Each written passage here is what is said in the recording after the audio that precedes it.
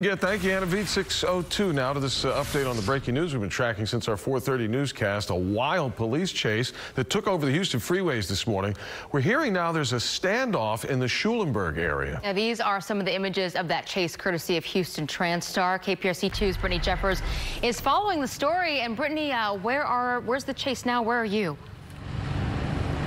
Well, I'm on the west side of Sealy, but uh, just to update everyone, within the last hour, I did speak with representatives at the Fayette County Sheriff's Office, and they tell me that right now that suspect is stopped, as you mentioned, at a standoff uh, in the Schulenburg area. Now, this chase has lasted close to two hours at this point. Now, we do have a look at some of the pursuit that we captured courtesy of our Houston Transtar cameras. According to Harris County Precinct 5, the suspect was asleep at the wheel, and when deputies tried to pull him over around 3 o'clock this morning, he took off. Now, that suspect, they say, got on the Katy Freeway.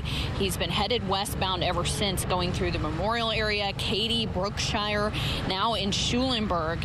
And after a two-hour chase, uh, Precinct County 5 deputies say they were able to spike the suspect suspect's tires outside of Schulenburg.